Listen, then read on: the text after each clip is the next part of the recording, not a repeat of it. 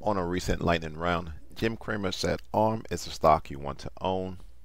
This is the daily chart, and the chart suggests one can go long down near the $62 level.